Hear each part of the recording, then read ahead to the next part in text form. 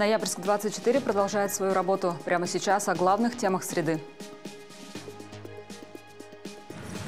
Навыки вождения в реальных условиях. С апреля изменится экзамен на водительские права. Идея на 300 тысяч. Школьники решают, как сделать учебную жизнь комфортнее. И правила изменились. Начислять пособия на первенца будут иначе. На Ямале изменились правила начисления пособий на первого ребенка. Беззаявительный порядок продления выплат прекращен. Ранее процедуру оформления пособий упрощали из-за пандемии. Меру поддержки автоматически продлевали. Но с этого месяца родителям, чтобы продлить льготу, требуется вновь подать заявление. Пособие выплачивается на ребенка до трех лет, если средний душевой доход семьи не превышает двух прожиточных минимумов. Опять начинается прием заявлений. То есть люди подают заявление, кому исполнилось один год, два года ребеночку, подают заявление в МФЦ, либо через портал госуслуг с приложением всех необходимых документов. Ежемесячная денежная выплата выплачивается в размере прожиточного минимума 16 753 на сегодняшний момент. Выплата назначается с даты обращения. Девятиклассники прошли итоговое собеседование по русскому языку. Основной день сдачи был 10 февраля. Участвовали 1196 школьников Ноябрьска.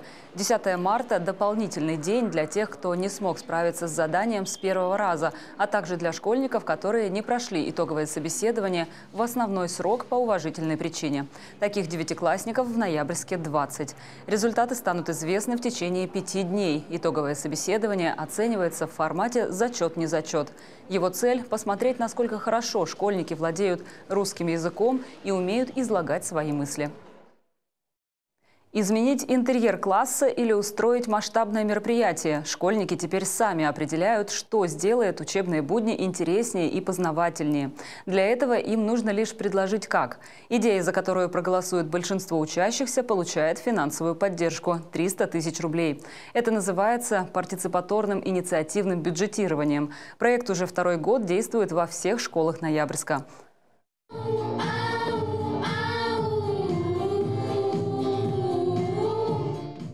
Почувствовать себя словно звезды на сцене теперь могут ученики 10 школы. Под аккомпанемент учителя они поют известные хиты.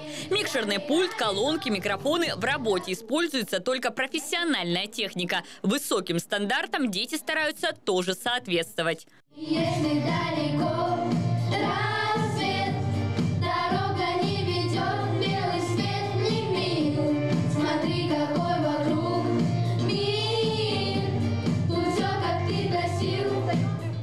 еще в прошлом году вместо цифрового фортепиано здесь стояла механическая, которому уже не один десяток лет. А микрофоны подключали к музыкальному центру. Со стороны все это больше походило на самодеятельность.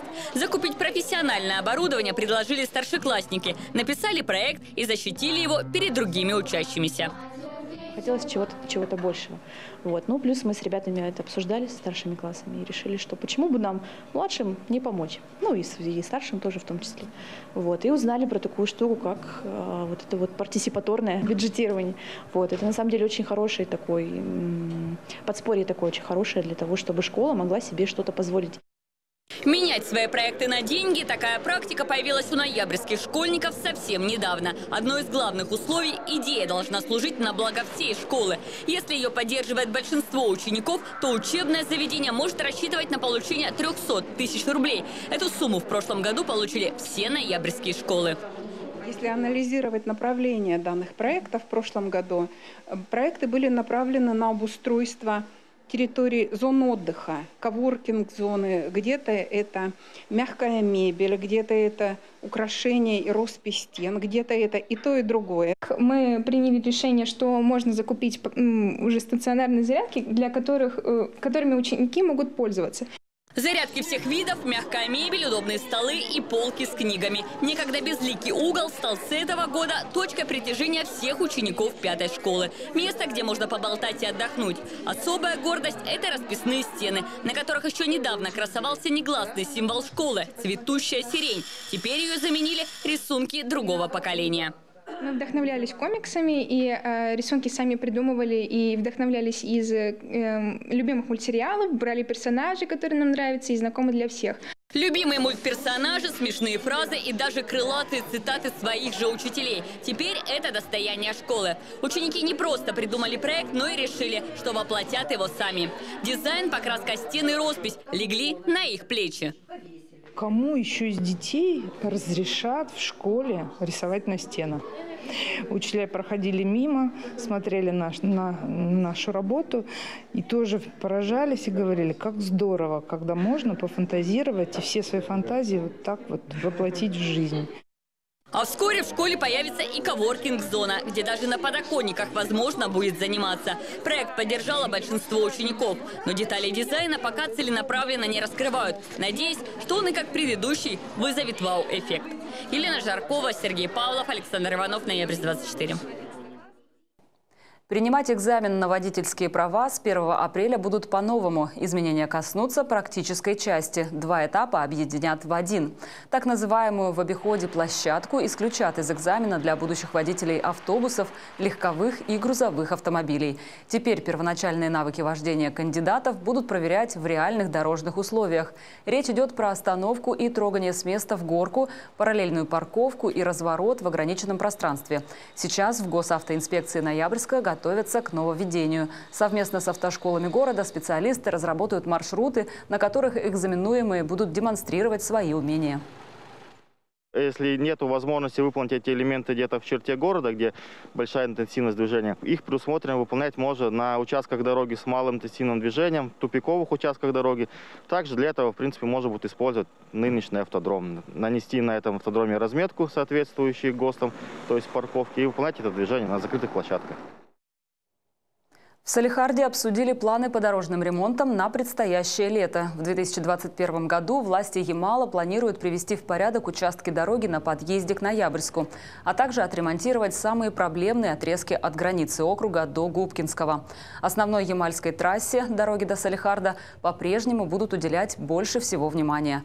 Начаты работы на самых сложных участках – от Нового Уренгоя до Карачаева и от Карачаева до Пуровска. Глава региона поставил задачу ускорить темпы и завершить ремонт как можно быстрее. Жителям Ноябрьска доступен новый способ записи на прием к врачу. Выбрать удобное время для посещения специалиста можно на региональном портале медицинских услуг. Этот альтернативный способ появился из-за перехода на новое программное обеспечение единой электронной регистратуры ЕНАО. Для записи на портале необходимо пройти авторизацию и следовать предложенному системой алгоритму. В Центральной городской больнице Ноябрьска напоминают, что записаться на прием можно также на сайте госуслуг. Никто не отменял и прежние методы – можно позвонить по телефону или лично посетить регистратуру. На Ямале за прошедшую неделю медики зафиксировали больше сотни заболевших пневмонией. В основном болели люди старше 40 лет. Данные приводят в окружном Роспотребнадзоре. Диагноз «внебольничная пневмония» поставили 127 ямальцам. 67 из них – пациенты от 40 до 64 лет. 30 случаев заболевания зафиксировали у детей и подростков. Четверть пневмонии вызвала коронавирусная инфекция. Если говорить о вирусных заболеваниях в целом, то за неделю к врачам обратились 5 5,5 тысяч человек с диагнозом ОРВИ.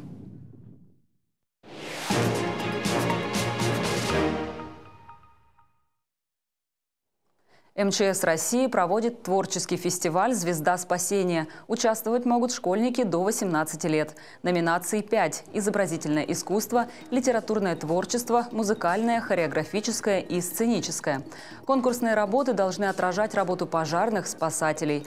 Также произведения и номера могут быть посвящены подвигу ликвидаторов Чернобыльской АЭС. Заявки принимают до 25 марта. Скачать бланк, а также узнать другие подробности можно на сайте МЧС. Сегодня День архивов. В Ноябрьске городской отдел был создан в 1982 году. С этого времени в учреждении накопились различные материалы. Это управленческие документы, личные архивы, архивы ликвидированных предприятий и фотодокументы. Всего около 200 фондов. Ими управляют 8 сотрудников. Опытные архивисты изо дня в день перебирают сотни бланков, протоколов, стенограмм для их дальнейшей каталогизации. Разбор документов 70-летней давности требует особых способностей. Понять суть текстов, написанных порой неаккуратно и сумбурно, не так просто. У Светланы Елсуковой за годы работы сформировался профессиональный взгляд. Она научилась читать между строк и объяснять даже нетрактуемые документы. Мы должны из этих э, всех э, строчек и всех этих э, написанных листов выбрать только то, что касается конкретного человека. То есть, кроме того, что это все нужно умудриться прочитать, из него еще и сделать какие-то определенные выводы. Ну, не выводы, конечно, но, по крайней мере, взять только то, что касается вот Иванова, скажем. Где можно увидеть северное сияние и как поймать его в объектив? Об этом нашему телеканалу рассказали фотографы из разных регионов страны. Северное сияние или аврора – по-настоящему завораживающее природное явление, за которым следят по всему миру. Сегодня сделать это можно, не выходя из дома, с помощью специальных сайтов. Но те, кто хотя бы раз видел аврору, говорят, за ней лучше наблюдать. Какие мифы разрушили ямальские фотографы и отличается ли сияние в разных частях страны? Ответы на эти и другие вопросы смотрите в специальном репортаже сразу после выпуска новостей. Ноябрьск готовится отметить Масленицу. Праздник пройдет в это воскресенье, 14 марта. Основной площадкой станет Ноябрьск парк. В час дня на главной сцене начнется выступление ноябрьских артистов, хороводы, русские народные забавы и игры. Территорию парка обещают украсить и оборудовать зоны для фотографий. Уличные гуляния пройдут и в микрорайоне Оболонь, на площадке в районе дома 189 по улице Сибирской. Отметить Масленицу смогут и жители Вингапуровского. Народные гуляния в отдаленном микрорайоне начнутся в полдень. Ноябрьские бойцы стали призерами чемпионата и первенства Уральского федерального округа по панкратиону. Это один из видов спортивного единоборства. Соревнования проходили в Тюмени. В турнире приняли участие больше 180 спортсменов из пяти регионов Уральского федерального округа. Медали разыгрались в нескольких возрастных и весовых категориях в дисциплинах панкратион традиционный и панкратион классический. Ноябрьск на соревнованиях представили воспитанники клуба «Универсальные бойцы». В итоге трое поднялись на пьедестал почета. Спортсмены заняли первое, второе и третье место. Выступил ну, довольно хорошо, а, выигрывал больше опытом, забирал, так как я был больше опытней, чем соперники. Весь у меня было всего 7 человек, со мной вместе 8. Провел я три боя.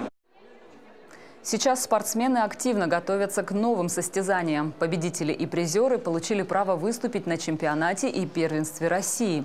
Турнир состоится 15 апреля в Симферополе. Соревнования такого высокого уровня для ноябрьских бойцов будут первыми после ковидного затишья.